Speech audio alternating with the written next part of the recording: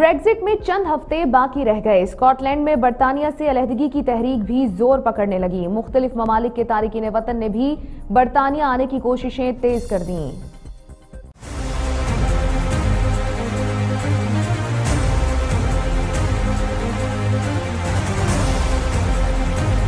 برطانوی انتخابات میں بورس جانسن کی ایک بار پھر کامیابی کے بعد برطانیہ اکتیس جنوری سے قبل یورپی یونین سے نکل جائے گا اور اس عمل سے قبل یورپ کے مہاجر کیمپوں میں چار ہزار کے قریب تارکین وطن نے برطانیہ میں داخلے کی کوششیں تیز کر دی ہیں۔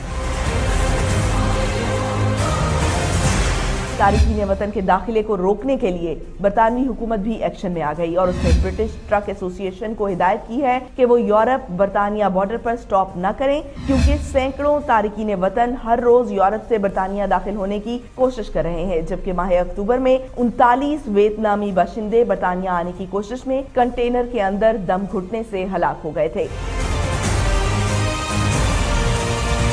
ادھر بیلجیم کی معروف لیون یونیورسٹی اور فلامش گورنمنٹ کی جانب سے کی گئی تحقیق سے معلوم ہوا ہے کہ برطانیہ کی یورپ سے علیحدگی کے نتیجے میں بیلجیم کے بیالیس ہزار افراد اپنے روزگار سے محروم ہو جائیں گے۔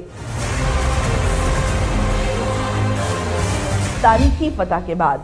اسکاٹ لینڈ کی برطانیہ سے علیحدگی کی تحریک ایک بار پھر زور پکڑنے لگی ہے، کیونکہ اسکاٹ لینڈ جو کہ یورپی یونین میں رہنے کا حامی ہے اور یورپی یونین سے بغیر کسی معاہدے کی علیحدگی کی صورت میں اسکاٹ لینڈ میں ساٹھ فیصد رائے دہندگان برطانیہ سے آزادی کے حق میں رائے دیں گے۔